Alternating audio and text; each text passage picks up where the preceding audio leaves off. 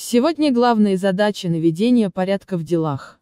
Посмотрите, с чего вы начинали, чем все закончилось, какие цели достигнуты, что не получилось и почему.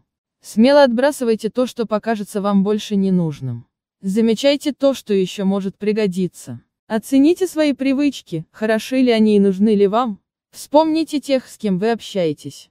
Рекомендуется порвать связи с теми, кто лишь использует вас или тянет из вас энергию как вампир. Если ваши любовные отношения не приносят вам радости, сегодня самое время их порвать окончательно. Если в делах кто-то из партнеров или коллег постоянно ставит вам палки в колеса, по возможности прекратите с ними отношения.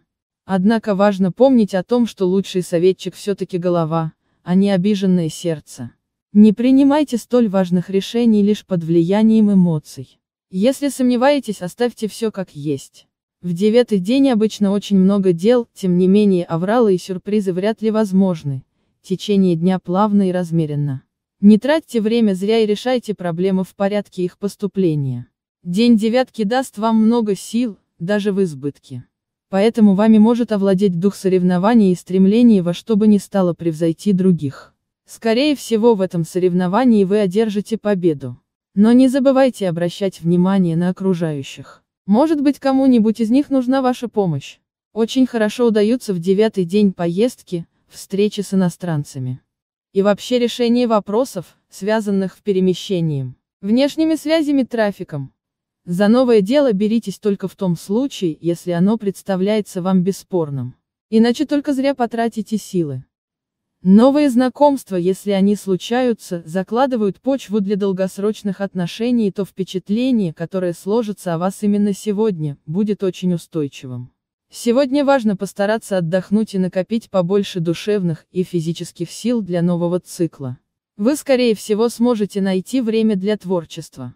Этот день способствует изучению магии, оккультизма, эзотерических учений и нетрадиционной философии.